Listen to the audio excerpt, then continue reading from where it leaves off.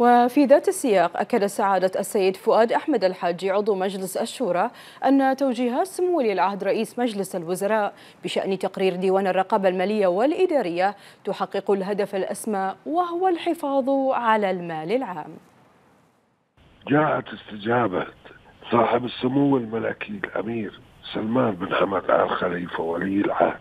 رئيس مجلس الوزراء حفظه الله ورعاه وصدور توجيهات سموه السديدة بتسخير كافة الإمكانيات الحكومية لضمان التطور المتنامي في داخل الحكومة الموقرة وفق أحدث الأساليب والمنهجيات وهذه من الثوابت الوطنية والديمقراطية بما يحقق الهدف الأسمى وهو الحفاظ على المال العام واستدامة الموارد ويدعم المسيرة التنموية الشاملة. الحكومة الموقرة في توجيهات صاحب السمو الملكي ولي العهد وضعت كل الأسس واللبنات لتطوير الأداء الحكومي والحفاظ على الموارد المالية واستدامة الموارد المالية والحفاظ عليها والحفاظ على المال العام. بكل شفافية تقرير